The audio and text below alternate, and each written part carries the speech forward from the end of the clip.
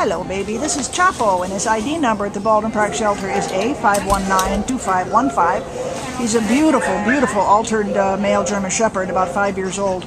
Came in as an owner's surrender, uh, I think today, and he's very nervous. He is just beside himself, poor guy. He's so upset to be here. Um, he's a gorgeous boy, very sweet, very easy to handle, uh, not aggressive or anything like that. He's just so nervous here. It's hard to tell much about him.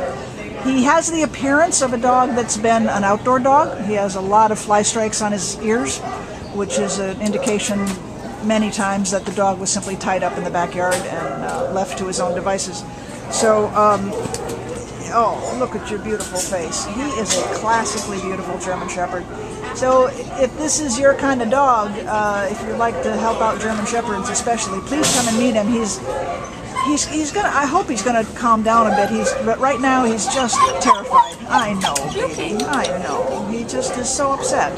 So he's not showing off to his best advantage. So he needs to get out of here, and he needs a, a loving hand. So please come on down and meet Chapo. He's in a tough spot. He needs to get out of here.